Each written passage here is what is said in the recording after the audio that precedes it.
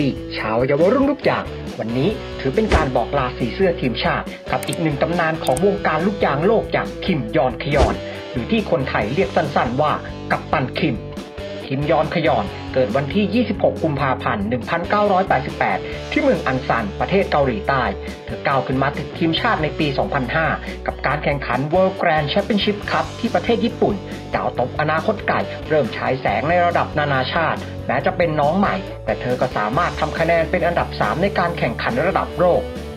เสร็จภารกิจที่ประเทศญี่ปุ่น หัวสาวเกาหลีใต้ ถูกดับตัวไปเล่นในลีกอาชีพกับทีมฮันกุกไลฟ์ ก่อนที่จะขยับตัวเอง ไปเล่นในลีกตางประเทศกับสโมสร JT ทีทีมเดียวกับออนอุมาสิทธิรัก แก้วกัลยากำมุลทลา และทัดดาวนึกแจ้ง ต่อมาเธอได้ย้ายไปโลดแล่นสร้างชื่อในลีกตุรกี และลีกประเทศจีน ก่อนจะกลับมาเล่นในลีกภายในประเทศ กับแมงมุมสีชมพูฮึงกุกไลฟ์อีกครั้งสำหรับเวทีโอลิมปิกคิมยอนคยอง นำทีมเข้าร่วมมาแล้วถึง 3 ครั้ง ช่วงเวลาอันพิเศษที่สุดในชีวิตของเธอ ก็คงเป็นการคว้าอันดับ 4 ในโอลิมปิก 2012 ที่กรุงลอนดอน โดยเจ้าตัวสามารถคว้ารางวัลผู้เล่นยอดเยี่ยมมาครองเท่านั้นยังไม่พอ เธอยังเป็นผู้ทำคะแนนสูงสุด พร้อมทำสถิติใหม่ทำแต้มรวมไปได้ถึง 207 คะแนน ทุบสถิติเดิมที่ทำไว้ 204 คะแนน ที่กรุงเอเธนส์ปี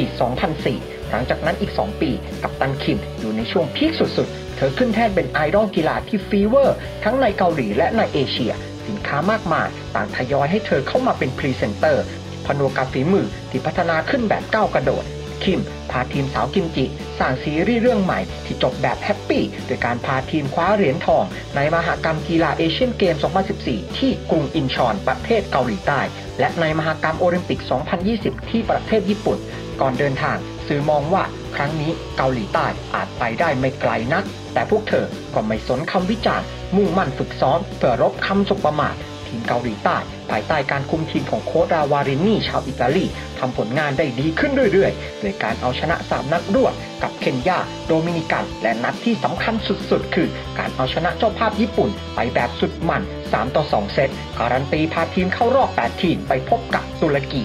หากเพียงแค่พูดคงเป็นเรื่องยากที่จะผ่านสาวแดนไก่ง่วง แต่ความเป็นผู้นำเธอกระตุ้นน้องๆ ให้ใช้จิตวิญญาณของคนเกาหลี ขึ้นมาฮึดสู้จนได้รับชัยชนะ แม้ในเกมรอบรองชนะเลิศ สาวแดนกิมจิจะพ่ายแพ้กับทีมบราซิล และทีมเซอร์เบียในนัดชิงอันดับ 3 แม้จะไม่ได้เหรียญแต่พวกเธอได้ใจคนทั้งโลกมาคล้องคอหลังจบเกมกับสาวเซิร์บ ข่าวใหญ่บนสื่อออนไลน์ที่หลายคนพูดถึงคือ การประกาศอำลาทีมชาติอย่างเป็นทางการของกัปตันคิมแฟนๆต่างเสียดายแต่ก็เคารพการตัดสินใจของเธอ ความสำเร็จมากมาย ถูกจารึกไว้ในหน้าประวัติศาสตร์วงการลูกยางเสื้อเบอร์สิบถูกยกให้เป็นตำนาน จนไม่แน่ใจว่าใครจะกล้าสวมใส่มันต่อ หรือบางทีเบอร์นี้อาจจะต้องทิ้งไว้สักพัก เพื่อรออัศวินสาวผู้กล้า มาสานต่อความฝันของนักกีฬาผู้ยิ่งใหญ่ตลอดกาลของเกาหลีอย่างคิมยอนคยอน สุดท้าย ขออ้อนแฟนชาวเยาวรุ่นทุกอย่าง ฝากกดไลค์กดแชร์ เป็นกำลังใจให้พวกเรา ชาว Wantleyball กันด้วยนะครับ แล้วเจอกันใหม่คลิปหน้า สวัสดีครับ